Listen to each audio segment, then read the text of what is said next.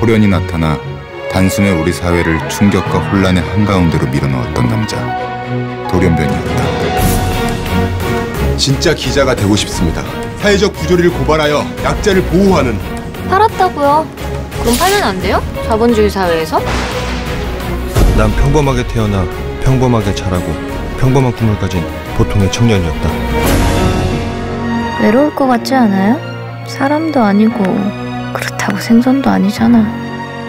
꼭 나 같아.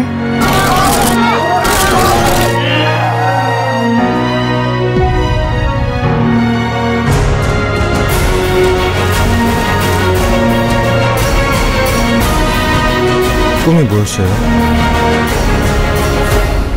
전 그냥 평범한 사람 되고 싶었어요.